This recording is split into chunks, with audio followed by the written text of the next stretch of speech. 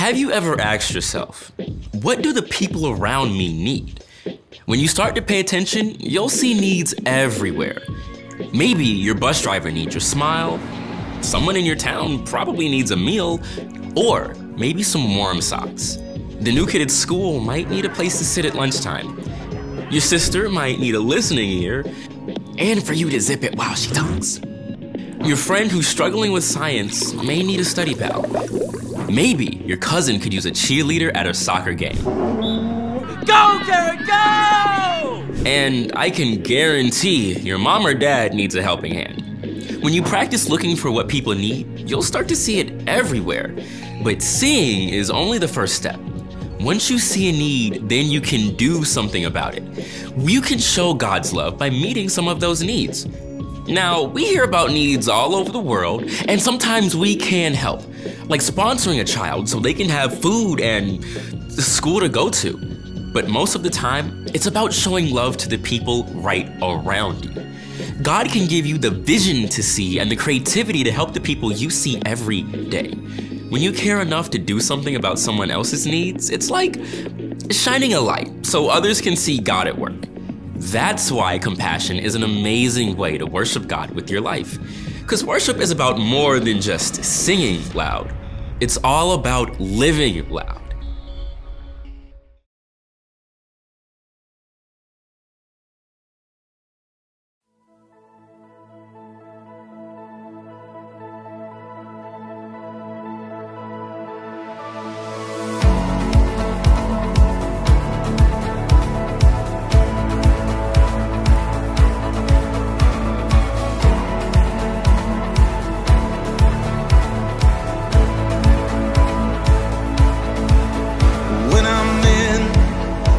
Roughest water, I won't go under, I won't drown.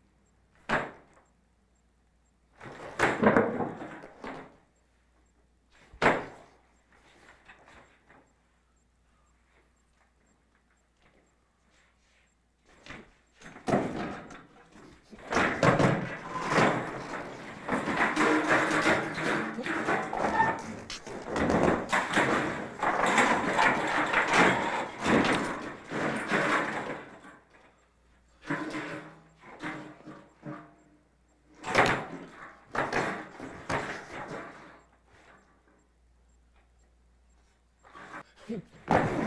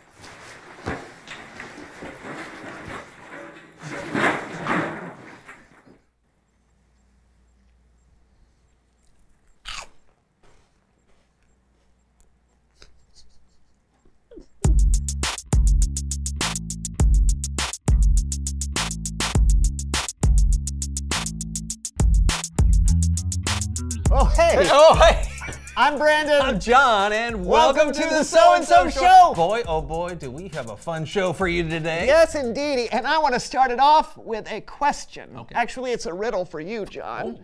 and for all of you out there, too. I love riddles. Hit me, hit me. okay, okay, here goes. You can only see me where there's light, but shine the light on me, and I disappear.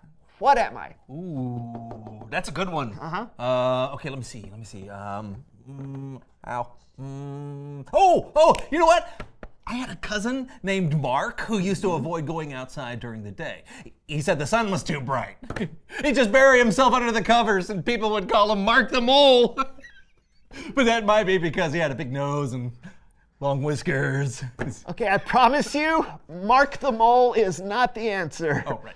Do you give up? No, no, no. Hang No, on, hang okay. on, hang on. I'm thinking. I'm thinking. Ooh, smoke. How about you? You can only see me where there's light, but shine the light on me, and I disappear. I got it. Ah, he's got it. What? It, wait. Uh, okay. Lights. Oh, what are you doing? Whoa! You can only see me where there's light, but shine the light on me, and I disappear. The answer is I'm a shadow. Oh, you got it! thank you, thank you, uh, thank you. Lights. We're going to be talking about light all month long. In fact, today's guest knows all about lights. Ooh. Please welcome someone who knows stuff.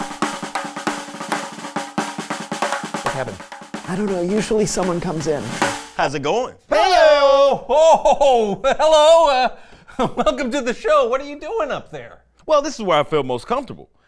Up here with the lights, but out of the limelight, so to speak. Oh, well, well, tell us who you are and what you know.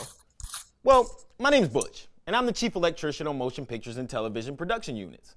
I'm most commonly referred to as a gaffer, and my assistant is the best boy. Hey! Hel- Hello. Hi- Hi. That's Rocky. Hey, Rocky. He's got a horn. Yeah. Uh, so, uh, what does a gaffer do?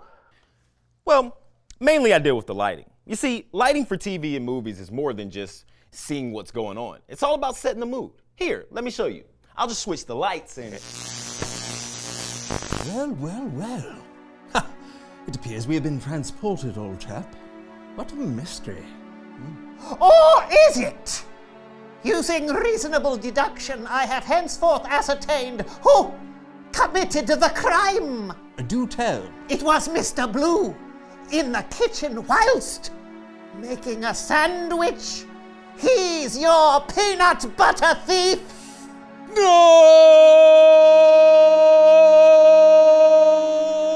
Why are we talking like this? It's the lighting. Oh, Light can change everything. Let's see what happens when I switch it to.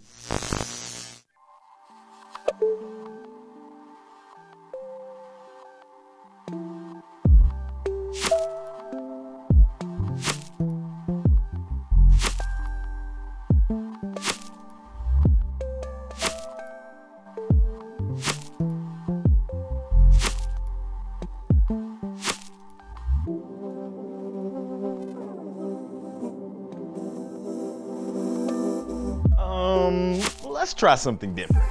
Yeah! You listen, brother. Two of us are in this ring right now, but only one is gonna walk out of it.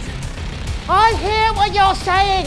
One of us is gonna walk out of the ring, and then the other one is gonna walk out a little later. Woo! No!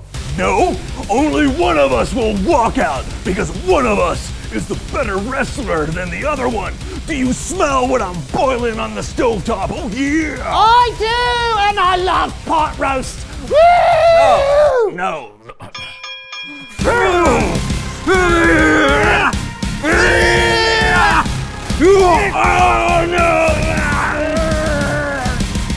Okay, we'll just stop there. Pot roast sounds good. Yeah, let's go.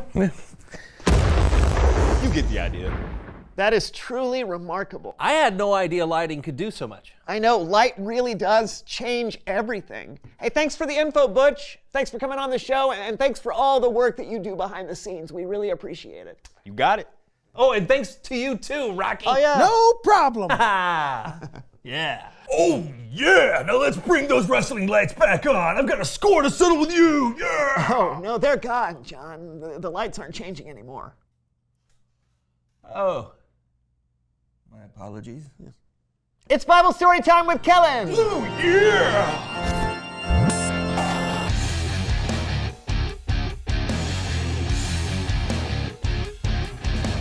Hey, Kellen. Hey, Kellen. Hello to you. That was quite the way to kick off the month. And you're exactly right. Light can make all the difference in the world. That's actually what today's Bible verses are all about. Oh, then take it away. These verses come from the book of Matthew. Matthew was one of Jesus' closest followers, and he wrote down a lot of what Jesus said and did. One time, Jesus was sharing with his followers what it truly looks like to live for God. And he said, It's time to break down the verse with Coach Scooter Shard. Looks like we're gonna have some help. Ah, are you ready to analyze, scrutinize, and investigate today's Bible verses? Then gather around, huddle up, and crowd together in a close knit jumble because Coach Scooter Sharp is here to show you how it's done. Thanks for being here, Coach. I, I was just about to show the first verse. Oh, that's what I like to see, Ree. Being a go getter. Come on, lay it on me. I will. Jesus said, You are the light of the world. A town built on a hill can't be hidden. Yeah, I like that. You should be the light of the world. People should be able to look at you and say, hey, look at that person. They got light coming out all over the place. That person is so different. You should be so different that people can tell from a long way off, just like that town Jesus was talking about. That town built on a hill. It can't be hidden. No. See, there's just light spilling out all over the place. That should be you. You should be the same way. That's right, Coach. You, me, and everyone who follows Jesus. We are the light of the world, and the reason we can show light is that we reflect the light of Jesus to those around us. Here's what Jesus said next.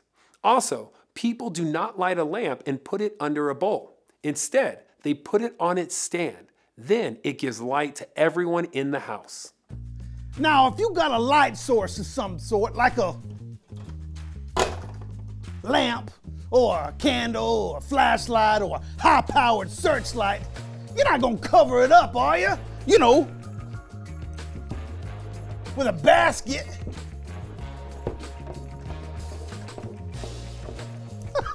No, of course not. That would be ridiculous. What would be the point of having the light in the first place?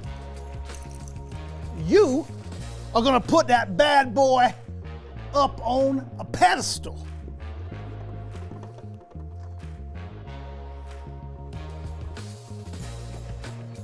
So everyone can benefit from the brightness. Much better. That is it, Coach. A light that is covered up doesn't do what it's meant to do. And it's just like that with you and me. Jesus said, In the same way, let your light shine so others can see it. Then they will see the good things you do, and they will bring glory to your Father who is in heaven. Now, when we have Jesus' light, love, and compassion inside of us, we can spread that love to others. and then that points others back to God. Perfectly drawn out, coach. That's what I do, Stu. Now, how about a real time play to show these verses in action? Yes, please. Let's say there's a new girl and she shows up at school and she doesn't know anybody. Look at her, she's all by herself. Now, some of your friends are all over here huddled up and they're ignoring the new girl. Well, that's where you come in. You decide to introduce yourself to her. Hello, how you doing? I'm doing fine. So you have a little introduction. Then you introduce her to your friends. And that makes sure the new girl happy. Ha ha, look, she's happy. And then the new girl feels happy and included. And it shows your friends how God would want them to treat others. And then they end up making a new friend. They end up making a new friend with her. See, and they end up making friends with themselves. now, look, I got arrows all over the place, which is a sign of a good play. Now, that is how you break down a verse. It's your turn to put it into practice. Go team! Thanks, coach. Jesus said that we are the light of the world. We should reflect his light by doing good things and showing love and compassion to the people around us. But not because it makes us look good, because it points people to God who has love and compassion for everyone. You know, I don't think I ever thought about reflecting Jesus' light. It's almost like we're mirrors of Jesus. Yeah, and Jesus has given us such a great example to follow. Yeah, and when we trust Jesus and follow his example, it really does change how we treat others. I think you got it. I'll see you guys next time. I think that leads us perfectly to what are you doing? Oh, oh, I, I, I, I just want to be a gaffer like Butch. So I'm trying a new lighting design for the show. It's kind of bright, isn't it? Yes, it's burning my eyes. Okay. Reveal the question. Oh, how can you be a light? Yes. John? Huh? Oh, here. Oh, thank you. How can you be a light? Huh? Oh, uh, well, I guess I could try to mirror what Jesus did. I could look for people who seem left out and try to include them in what I'm doing. Yeah, you can be a light uh, by helping someone with their homework or uh, cheering someone up when they're sad. Yeah, there are lots of ways you can be a light. So talk about it together. And we'll see you next time for a brand new show. Bye! Why do you keep doing this? I don't know. I don't know what I'm doing. I mean, it's just light, right? It, it- it is. Here, what, what, I think you have a cavity. It's Bible story time with Kellen. Oh yeah! That's my favorite joke of the whole show.